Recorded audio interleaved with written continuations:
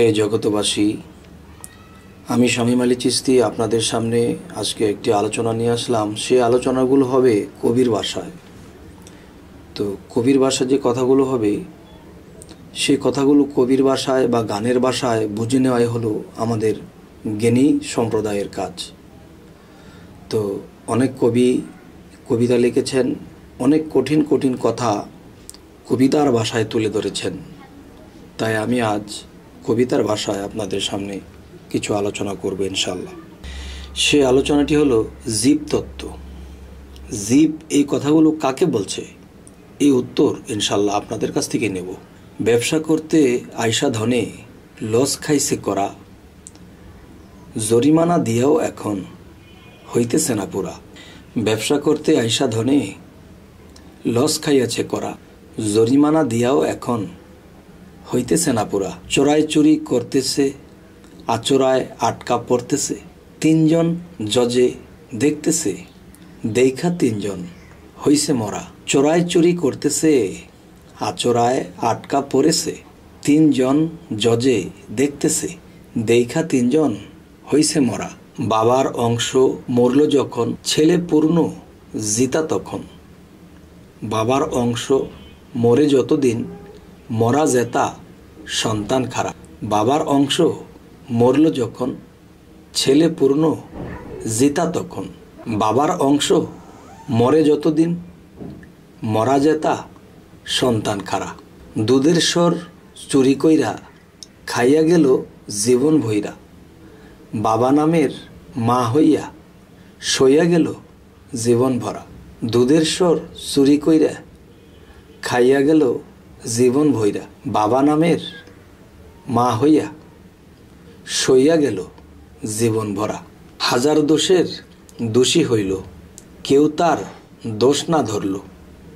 এই দেখিয়া তিনজন মরল, নাই তাদের কিছু করা। হাজার দোষের দোষী হইল, কেউ তার দোষ না ধরল। এই দেখিয়া তিনজন মরল, নাই তাদের কিছু করা। স্বামীমে কয়, জীবের জ্বালা, জন্মান্তরে পুইরা কালা।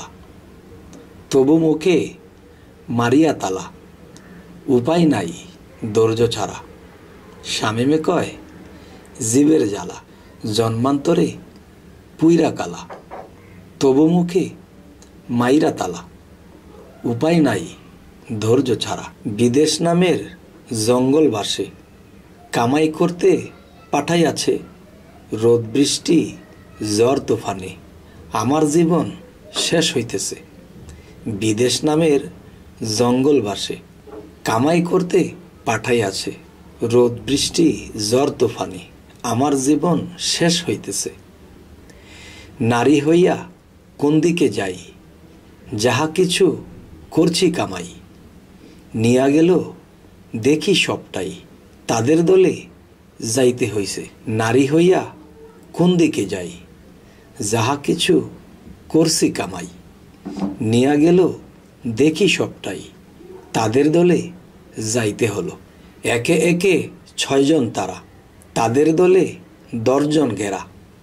তাদের কাছে পড়শি ধরা, তাদের কাছে পড়শি ধরা। ওদের ফান্দে জীবন কাটছে। একে একে ছয়জন খারা, তাদের দলে দশজন ঘেরা। তাদের কাছে পড়শি ধরা, ওদের ফান্দে জীবন কাটছে। মোহমায়ার রশি দিয়া, বাইন্দা রাখছে আমায় নিয়া। ছুটব কোন কৌশল দিয়া? বাঁচাও পরম স্বামী এসে, মোহমায়ার রশি দিয়া। বাইন্দা রাখছে আমায় নিয়া। ছুটব কোন কৌশল দিয়া? বাঁচাও পরম স্বামী এসে, শামীম আলী কি বলে? আকুতি মিনতি নাহি চলে। ষোলো আনা দিছিলা বলে, কর্মফলে যে পাইয়াছে শামীম আলী। কি বলে? শামীম আলী? কি বলে? আকুতি, মিনতি নাহি চলে। ষোলো আনা, দিছিলা বলে। কর্মফলে, যে পাইয়াছে আমি জীব, সইতে নারী। কেন দাও এত জ্বালা? আমি জীব, সইতে নারী। কেন দাও এত জ্বালা? তোমায় আমার স্বামী জেনে। তবু করি গলার মালা। কুবুদ্ধির কুখায়েশের ছয়জন দিলা আমার পাশে। মনটা ঘোরায় অবশেষে অপরাধ হয় বারে জ্বালা। কুবুদ্দির কুখায়েশের ছয়জন দিলা আমার পাশে। মনটা ঘোরায় অবশেষে অপরাধ হয় বারে জ্বালা। আমায় দিয়া হইস স্বামী, আর লাগে না কিছু ভালা। ঝড় বৃষ্টিতে ঘুরি আমি, পরম সুখে থাকো তুমি। আমায় দিয়া হইস দামি। আর লাগে না কিছু ভালা। থাকো তুমি অধরায়, জীব আমি রাখছ ধরা থাকো তুমি অধরায়, জীব আমি রাখছ ধরায়।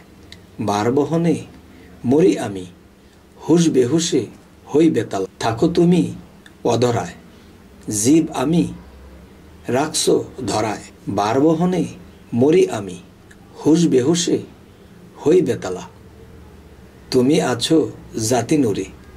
যাইবা তুমি কত দূরে। অংশ আমি সিফাত নূর। রাইখা যাইতে পারবা না। অংশ আমি সিফাত নূরে। রাইখা যাইতে পারবা না। যিনি আছে রাজ্যের রাজা, রানীর কাছে কম ক্ষমতা। জীব আছে নারী হইয়া, ইজ্জত বাঁচাও মুখে তালা। যিনি আছে রাজ্যের রাজা, রানীর কাছে কম ক্ষমতা জীব আছে, নারী হইয়া ইজ্জত বাঁচাও মুখে তালা। স্বামীমে কয়, জীবের মুক্তি, পরমের না করলে চুক্তি। পরমের নাই, আইনের শক্তি।